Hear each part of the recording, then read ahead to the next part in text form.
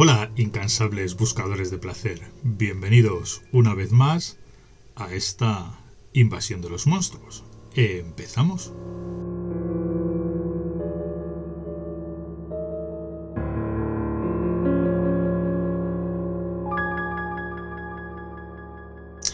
Y lo prometido es deuda. Tercera invasión de los monstruos dedicada a Aullidos 2. Aullidos 2 fue la secuela de la película Aullidos de Joe Dante. Fue una película que llegó cuatro años después de la original, en 1985. Y llegó de una manera un tanto peculiar.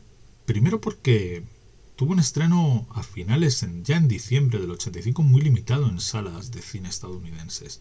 Y segundo porque llegó con un cambio total de, del equipo. En esta ocasión, la productora encargada de producir esta, esta secuela, Aullidos 2, fue la Hemdale Film Corporation. En, la primera película había estado producida por una compañía muy parecida, la Afco Embassy. Eran productoras que habían nacido a finales de los años 60, había nacido, pues eso, la, la Afco Embassy, esta Heimdale. Incluso estaba la Orion Pictures, estaba eh, la New Horizons de, de Roger Corman. Eran películas que intentaban distribuir y producir películas, dijéramos de género, aunque hacían un poco de todo, ¿no?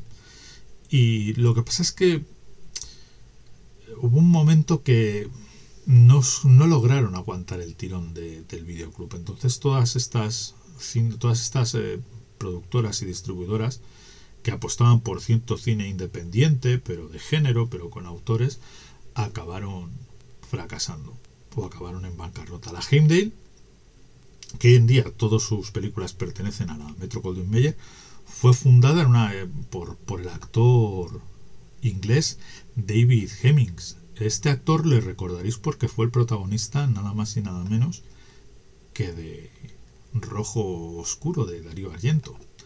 El caso es que este Aullidos 2 venía producida por esta Heimdale que un año antes, en 1984, había tenido un éxito colosal de taquilla con el Terminator de, de James Cameron. Y claro, ¿cómo nace este Aullidos 2? Vosotros pensad que Aullidos había sido un éxito de taquilla bastante bastante interesante. Eh, había sido una película muy pequeña que había costado un millón y medio de dólares este primer Aullidos y había recaudado en cines solo de Estados Unidos y Canadá casi 18 millones. Y en 1985 los videoclubs ya tenían una popularidad brutal, con lo cual la película eh, se había hecho muy, muy famosa. El tema es que la AFCO Embassy había empezado a tener un montón de problemas financieros. De hecho, esta película es del 85 y la AFCO Embassy desaparece en 1986. Así que los, sus derechos acaban en manos de esta Heimdale Film Corporation, que termina contratando a un director nacido en Francia, es parisino de nacimiento, pero australiano de, educación, llamado Philip Mora. Philip Mora eh, venía a hacer documentales en Australia alguna película, por ejemplo, es curioso porque había llegado a hacer hasta una película bastante curiosa que se llamaba Mad Dog Morgan, que era un bus ranger, ¿no? Un western. Los bus ranger film es un subgénero también llamado western de canguro o canguro western, que es eso es un western australiano, ¿no? El tipo no, no venía con una mala carrera y había hecho esta película bastante curiosa con un montón de efectos de maquillaje llamada la con la bestia adentro que habían protagonizado la actriz Bibi Besh y el popular eh, Ronnie Cox. Así que a priori parecía pues de nuevo que, que elegían un director con cierto pues curioso, igual de raro de lo que podía ser Joe Dante cuando fue elegido para hacer para hacer eh, este ese primer aullidos, ¿no? El tema es el guion Aullidos 2 tiene un guion escrito por Robert Sarno y por el propio Gary Bradner. Gary Bradner, que es el autor de las tres novelas de Aullidos que escribe entre 1977 y 1980, que son tres novelas, Aullidos, Aullidos 2 y Aullidos Ecos, Aullidos 3 Ecos. El tema es que Gary Bradner no acaba nada contento con la película Aullidos de, de Dante. Piensa que le han cambiado demasiado el guion, piensa que no es exactamente lo que él quería contar. El caso es que Bradner no está muy contento con el trabajo que han hecho con Aullidos y, y así que decide él mismo, o es contratado esta vez, para escribir él directamente el guion de este Aullidos 2. El tema es que él no basa su Aullidos o su, su guion de Aullidos 2 en su novela Aullidos 2, no tienen nada que ver. Ha escrito en 1979, él escribe la novela Aullidos 2 que es una continuación directa de su novela Aullidos, donde el personaje de Karen White, que en el libro se llama Karen Beatty, no ha muerto y sigue siendo la protagonista de este Aullidos 2, Karen, Karen Beatty. En Aullidos, Karen White, interpretada por Dee Wallace, termina la película que muere. La dispara en el plato de televisión cuando se está transformando en hombre lobo y muere. Entonces, a partir de aquí, Gary Bradner escribe, y este es quizá, yo siempre he dicho que este es quizá uno de los más grandes errores de la historia del terror de todos los tiempos, ¿no? Dejar que a un guionista o que un guionista escriba, perdón, que un novelista, a lo mejor podía ser un novelista estupendo, pero no necesariamente un gran novelista, dejarle que escriba esa continuación y es quizá, vuelvo a decir, uno de los grandes errores porque la película no tiene ningún ningún sentido. Aquí el Aullidos 2 comienza prácticamente inmediatamente después de, Aullidos 1. Estamos en el funeral de Karen White y conocemos a Ben White, que es su hermano. Y conocemos a Jenny Templeton, que es la novia de su hermano, que está en el funeral de la hermana. y ahí en el funeral aparece un tipo muy curioso, un tal Stefan, interpretado por Christopher Lee.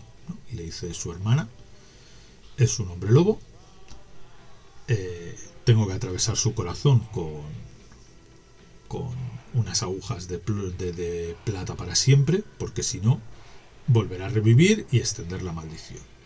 Y claro, este hombre, Ben White, pues no le creéis, se lía una que no veas. El caso es que efectivamente Karen resucita y convertida en hombre lobo, la tienen que terminar de matar y a partir de ahí la historia nos lleva a Transilvania. O sea, se les va la olla totalmente y llevan la acción de donde ocurría la primera película, que eran Los Ángeles y el norte de California, y aquí comienza de nuevo en Los Ángeles, y se van a Transilvania porque sí, en busca de Estirba, que es la reina de los hombres lobo, que vive en una especie de castillo con una corte Además es curioso porque confunden casi, o a veces parecen mitología de vampiros, eh, pero de hombres lobo. Eh. El caso es que la película, claro, de ahí se convierte en una película totalmente surrealista, con un montón de, secuencias inconexas, con, con, algo de sexo entre hombres lobo. Eh. El tema es que la película no tiene un gran, mucho sentido, sobre todo de guion. Estéticamente o musicalmente, la película no está mal. O sea, Philip Mora no se defiende mal a la hora de, encuadrar, dijéramos, o de rodar las secuencias. Para el poco dinero que tiene, la película no luce mal del todo. No, no llega. Philip Mora no tiene la finura de Dante con la cámara, pero bueno, eh, decide tirar por otro lado, ¿no? Y ahí dijéramos que la película no es tan desastrosa, ¿no? Esperamos que, por esa parte, por la parte visual, mm, Philip Mora quizás salva los muebles contando, viendo el, guion que tiene y el reparto que tiene, los medios que tiene, porque esa es otra. El reparto, aparte de Christopher Lee, que esto tiene su historia. Resulta que Christopher Lee es la primera opción de Joe Dante para interpretar al personaje que hace Patrick McNee en la película, en 1980. Y Christopher Lee le dice que no, que no le interesa. Hacen aullidos, aullidos es un éxito, y entonces a Christopher Lee le ofrecen hacer aullidos 2. Y él dice, ostras, con el éxito que tuvo la primera, mm, aceptó hacer esta segunda, claro. O sea, él ve lo que había supuesto para Patrick McNee, el éxito de la película, y dice, pues van a hacer esta gente una secuela, debe ser que va a ser buena. Bueno, pues es sabido que durante el rodaje Joe Dante y, Christopher Lee trabajaron juntos en Gremlins 2. Y cuando se conocieron en el rodaje, eh, Christopher Lee y, y Joe Dante, Christopher Lee le pidió disculpas por haber participado en Aullidos 2 de lo horrorosamente mala que pensaba que era Christopher Lee esta, esta secuela, ¿no? Y, y cómo él se había sentido, dijéramos, engañado o decepcionado de, sobre todo de no haber aceptado hacer ese primer Aullidos y haber aceptado hacer la secuela que es una película con, dijéramos, muchos peldaños por debajo de, de la original. Luego el reparto lo completaban, eh, evidentemente, la actriz Sibyl Dunning, esta actriz austríaca. Eh, Sibyl Dunning, si le ve, la veis, o sea, en los años 80 están un montón de cine de serie B de explotación. Una actriz rubia con un pecho muy generoso, una actriz muy, muy guapa y haciendo aullidos, pues una actriz eh, joven y una actriz. Eh, Dunning que haría de, de Stirba, la, reina de los hombres lobo, y quizás ahí lo único destacable de la película. Eh, Christopher Lee, porque es Christopher Lee, su presencia siempre era increíble, y Sibyl Dunning. Y a partir de ahí el reparto lo completan la actriz Annie McEnroe. Annie McEnroe era una actriz estadounidense que a principios de los 80 había hecho dos, tres películas, cuatro, había hecho alguna cosa y era una actriz con cierta proyección, ¿no? Había ganado algún premio, había hecho una película que se llamaba una película neozelandesa posapocalíptica llamada Battle Track, que aquí en Sitges ella ganó el premio a la mejor actriz. Y luego hizo la película Corazones Púrpuras, que tuvo cierto tuvo cierto éxito, ¿no? O cierta repercusión la película. El caso es que era una actriz con cierto nombre, una actriz muy finita, muy delicada, muy... El caso es que se acabó... Llegó a participar después de Aullidos 2, participó en en Wall Street o en Beetlejuice, pero a partir de ahí su carrera se, diluyó. A Annie McEnroe la acompañaba Rev Brown, que Rev Brown es un mito de la serie B, este hombre. Este hombre es, es el primer actor de nacer. Bueno, no fue el primer Capitán América, pero sí en los 70 hace el Capitán América este de finales de los 70 en aquellos dos telefilms horrorosamente malos. Bueno, pues Rev Brown era ese primer Capitán América. Esos dos telefilms del año 78 están ahora para ver en Sky Showtime. Y luego, en los 80 hace un montón de películas de explotación, de acción italianas, ¿no? O de serie B. Hace un montón de cine muy de... por ejemplo, está en la película RoboWar de, de Vincent de Vincent Down, de Bruno Mattei, ¿no? O, o en Strike Commando también está también de, de Bruno Mattei. O sea, es un tipo que tiene una carrera muy divertida, es un actor simpático de, ver, pero que siempre se ha movido en, la serie Bella aquí pues hace su papel de señor grande, musculoso, bruto. Eh. Y luego, aparte de, de Stirba, hay otra mujer lobo que tiene bastante importancia en la película, que está interpretada por la actriz y modelo Marsha Hunt.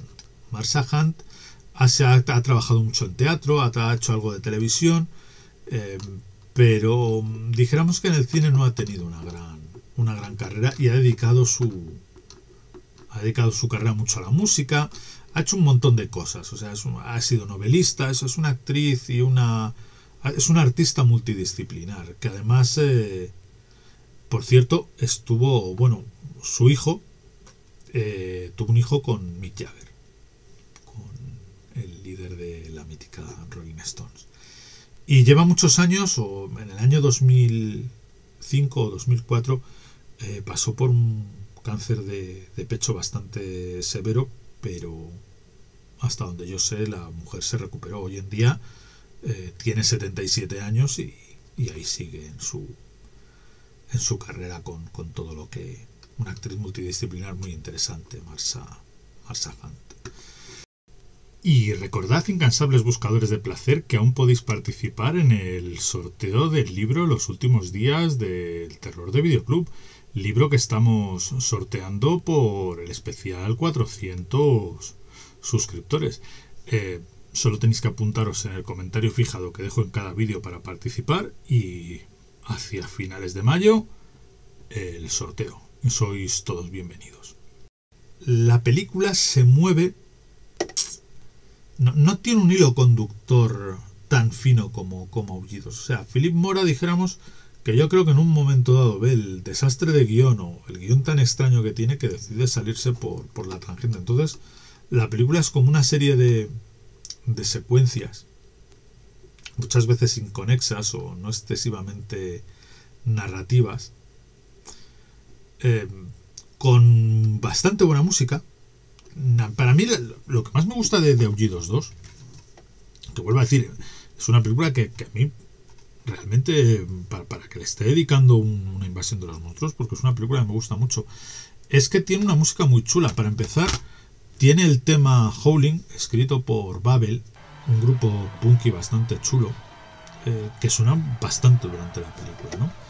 Eh, luego la película tiene más humor que la primera. O sea, si de ser una película con, con una carga satírica bastante, bastante seria, y cuidado, sátira, sátira y seriedad, ¿no?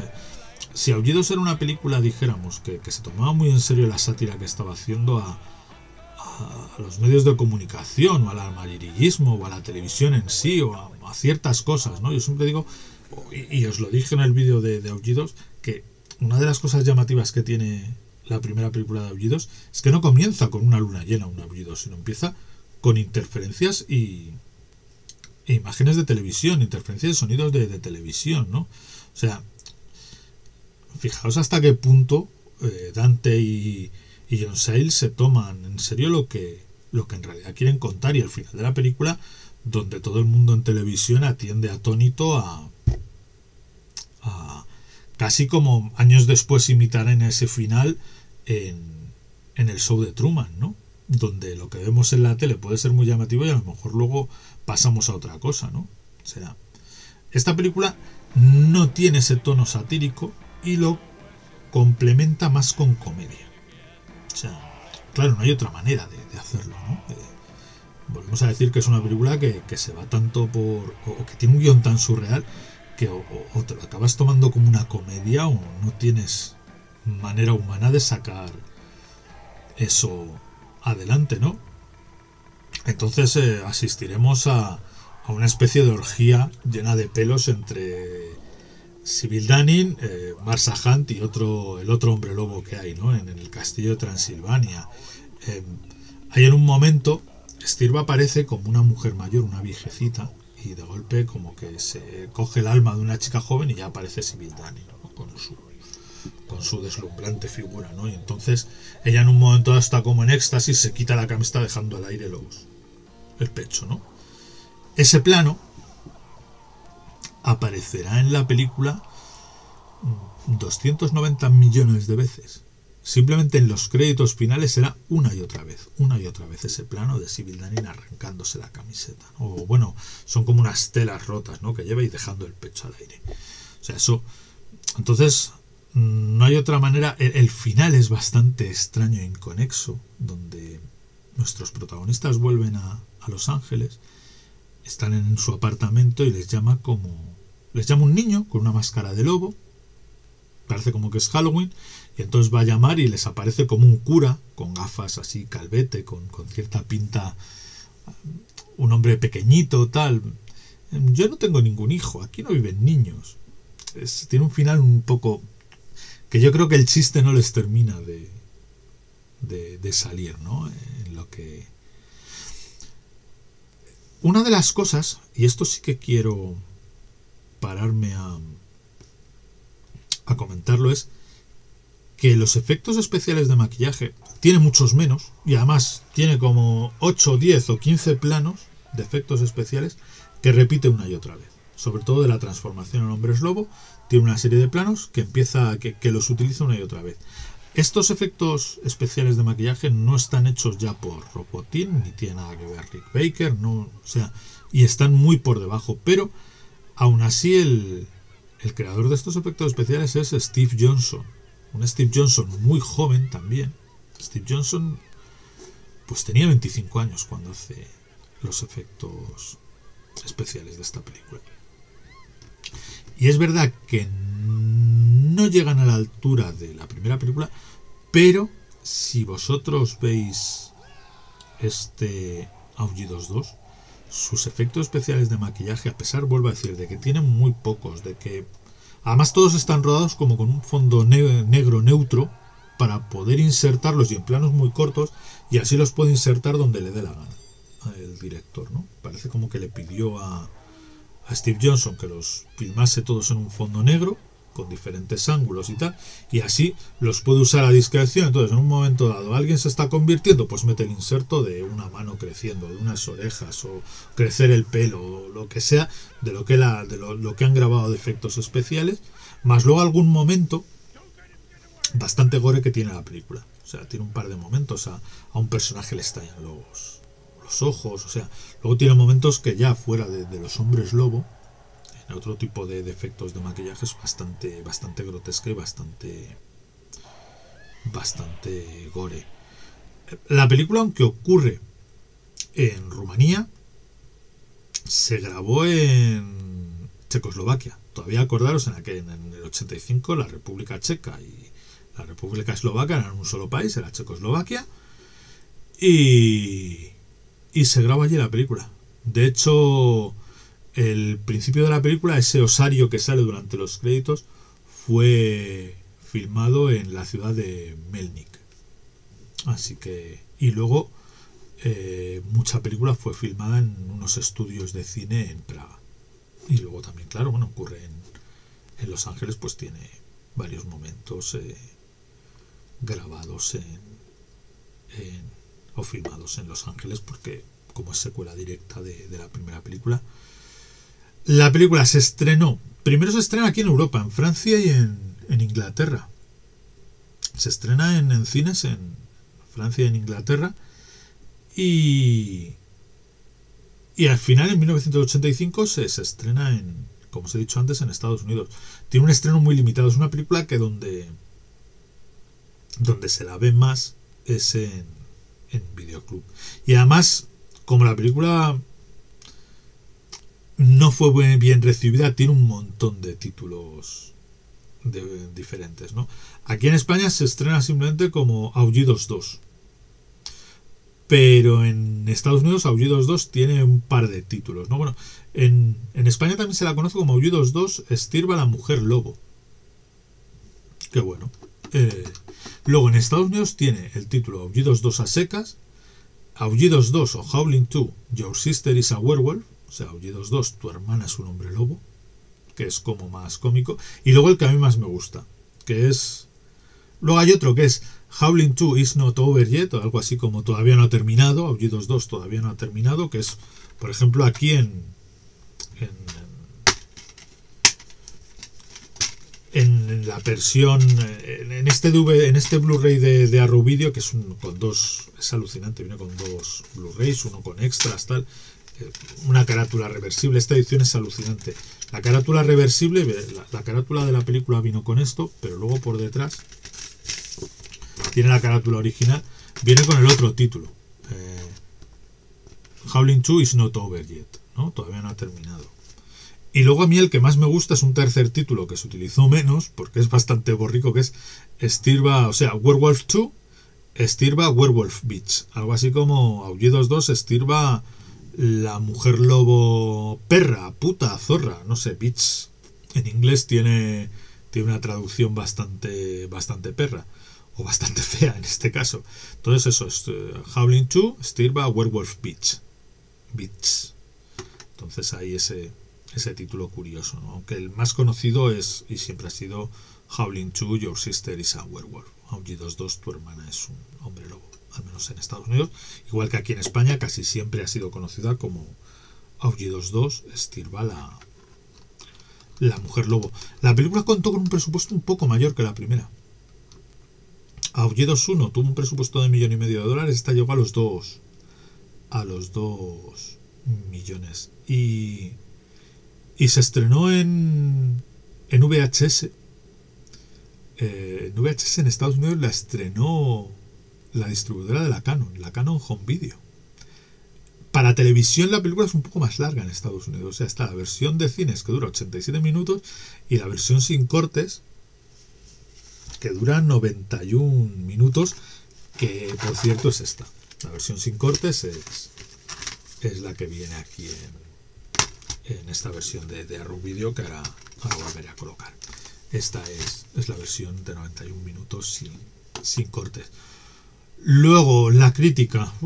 En Rotten Tomatoes hoy en día cuenta con un 31% de críticas positivas. Lógicamente no, no puede. Roger Ebert, que lo criticaba todo en ese momento, o sea, no hay película, yo creo, en cierta época que, que no haya hecho una crítica a Roger Ebert. Roger Ebert habló bien del trabajo de, de Sybil Danning diciendo que al menos no era la peor película que había hecho esta mujer. Eso es lo mejor que pudo decir de, ella.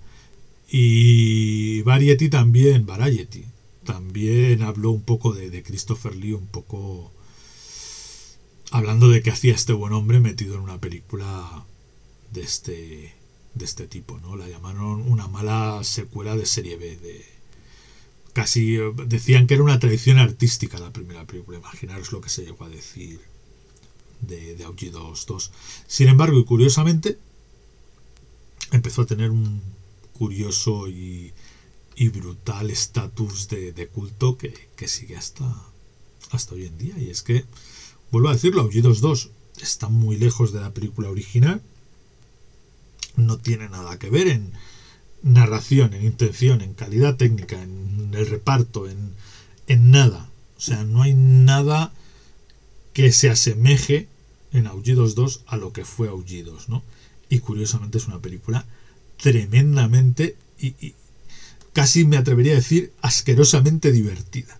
O sea, es magnéticamente divertida. Es, es, es muy divertida Aullidos 2. No tiene ningún... Una vez superamos los 10 primeros minutos de película y el shock que supone el paso de Aullidos a Aullidos 2, una vez se quitan de encima toda la mochila de lo que es la película Aullidos de Dante, si somos capaces de entrar en ese juego, de, ver esa secuencia donde Christopher Lee va al concierto de, de, Babel que están cantando Aullidos y lleva esas gafas tan ochenteras, ¿no? Ver, ver a, a, a, Christopher Lee vestido así, ¿no? Y que se dejase el hombre. Y... Bueno, y luego eso, lo, lo que siempre digo y, y que no es, no es nada, no es ninguna tontería, que es que la película además de estar muy divertida, ser una película muy divertida, con buena música y tiene buenos efectos especiales, o sea, es como un enorme videoclip, entonces sorteado ese, ese shock, esos 10 minutos iniciales que, que, carga con la mochila de la película original, pasado esos 10 minutos, si entras en el juego, si estás dentro, Aullidos 2 es una experiencia bastante inolvidable. Pues esto ha sido todo, incansables buscadores de placer. Ya sabéis, si queréis participar en el sorteo de este librito, os apuntáis en el comentario fijado. Podéis seguirme en todas las redes que tengo disponibles, especialmente en Twitter, que es donde estoy más activo. Y como siempre os digo, siempre podéis regalarnos ese like, que tanto sube nuestro ego, os suscribís, activéis la campanita, y muy pronto más, así que estad atentos. Adiós.